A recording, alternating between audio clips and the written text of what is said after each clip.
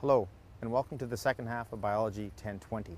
My name is Michael Shaw, and I'll be the instructor for this section of the course. You're going to see my, my first video starting in a few minutes, but I just wanted to introduce a series that's going to start each and every one of my lectures called Talking to a Biologist.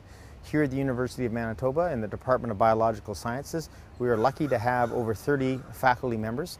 You're going to meet 18 of them over the next series of lectures, and they're going to talk to you about their research areas, why they became biologists, what interests them about biology, why they're so passionate about the work that they do here at the University of Manitoba.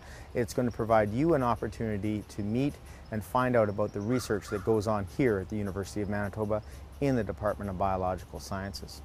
When you meet those 18 different researchers, you're going to see that here in the Department of Biological Sciences, we do research on everything from the whales of the Arctic to the fisheries off Canada's east, east coast to the uh, growing of uh, plants within the Manitoba ecosystem to the lichens of Manitoba and North America.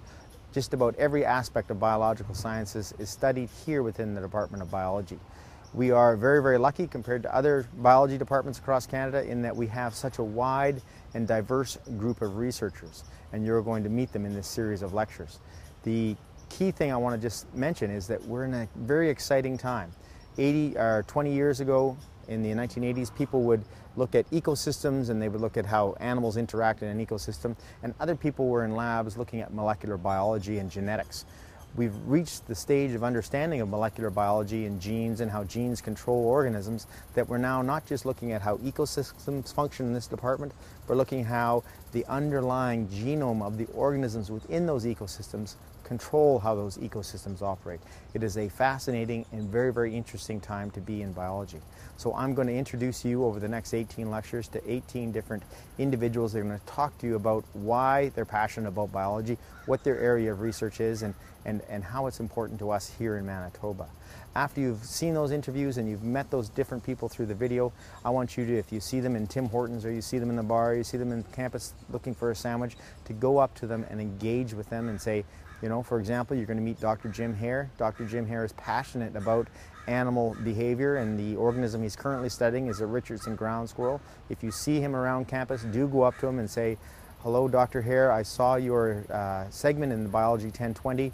I'm interested in animal behavior. How can I get involved in your research program? How can I be uh, involved in your lab? Do you need research assistance? All of these people you're going to meet through these series of lectures are interested in meeting students that are interested in biology. Now, a lot of you are sitting there and you're saying, well, that doesn't, this doesn't really apply to me because I'm on my way to medicine or dentistry or pharmacy or veterinary medicine. Um, even if that is your chosen career, you have this opportunity here at the University of Manitoba as undergraduate students to get passionately involved in the life sciences, and it might just change your life. There is such a broad breadth of uh, researchers here at the University of Manitoba that are passionate about biology. I hope you do uh, watch these segments. I hope you find them interesting. I hope you find them engaging.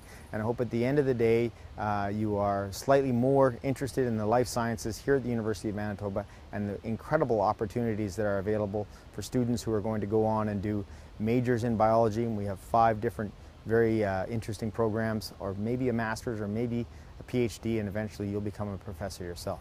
All right, so I hope you enjoy these series. They're called Talking to a Biologist. They'll start each and every one of my lectures. The, uh, uh, my regular scheduled lecture will be beginning shortly.